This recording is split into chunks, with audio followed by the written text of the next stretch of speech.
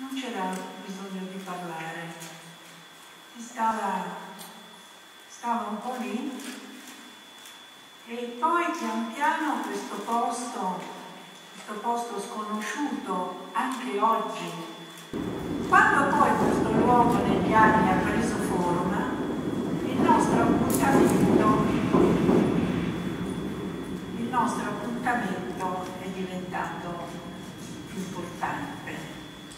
E quando si è trattato di mettere questo luogo, cercando i fondi, mettendosi d'accordo con le ferrovie dello Stato, una cosa lunghissima di anni, si è arrivati a questo muro.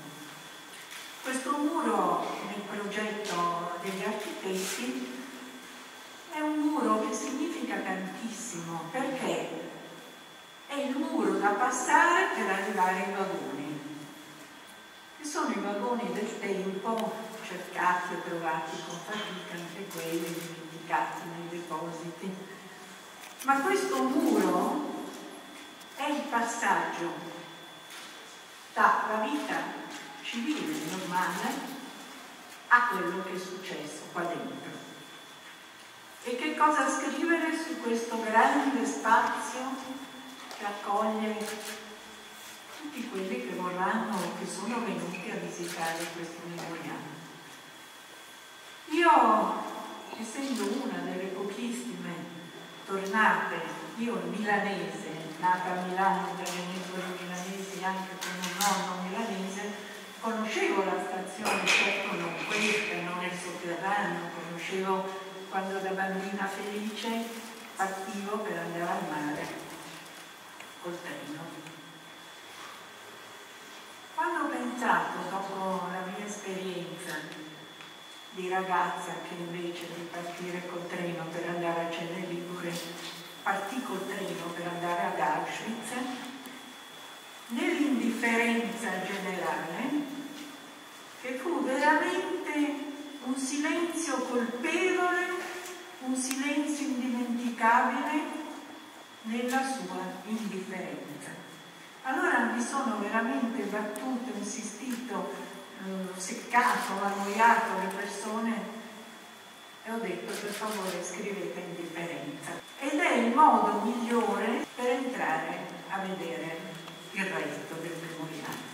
Per arrivare a quel binario, per arrivare a quei vagoni che non sono folcloristici come qualcuno ha osato dire. Vagoni folcloristici,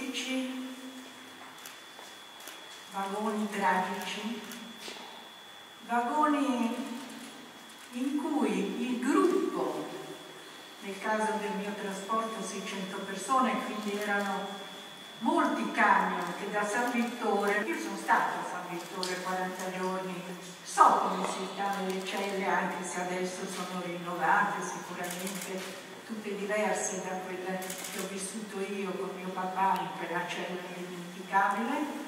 Come siamo arrivati qui? Ma chi eravamo? Eravamo vitelli che andavano a qualche mattatoio? Eravamo merci eravamo già pezzi, quegli stucchi che poi siamo diventati senza saperlo. Nessuno ci ha fermato per strada. San Vittore che ci hanno dato l'ultimo saluto perché detenuti sanno molto bene in radio carcere chi è colpevole e chi no.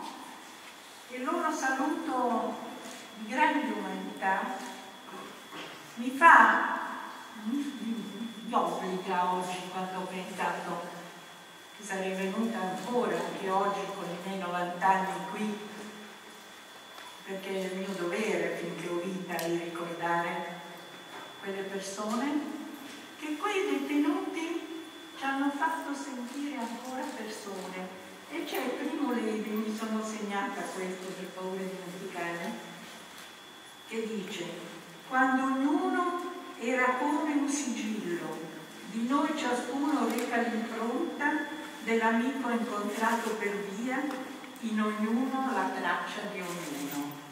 Questa è una stupenda poesia di di Primo Levi che si chiama Agli Amici e che quando io leggo Primo Levi penso sempre che peccato che non ho capito io prima queste cose, non sono stata in grado di dirle, ma le faccio mie con tutta me stessa perché è il contrario dell'indifferenza, quando ognuno è la traccia di ognuno, quando uno è il sigillo dell'altro, ci può essere indifferenza.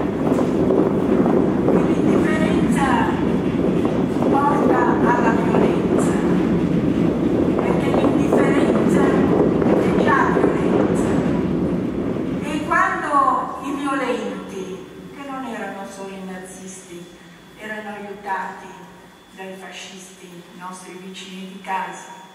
Avevamo il terrore, noi spinti qua dentro come un gregge diretto al macello, ci guardavamo intorno e vedevamo e sentivamo parolacce, urla, grida in italiano. Erano i nostri fratelli. Quando siamo spinti dentro i vagoni e sigillati, ognuno piangeva con le lacrime dell'altro. E nella giornata di oggi, che è dopo il 30 di gennaio, io mi domando, io dove ero il 31 gennaio 1944 con i miei 13 anni? Io ero nel treno.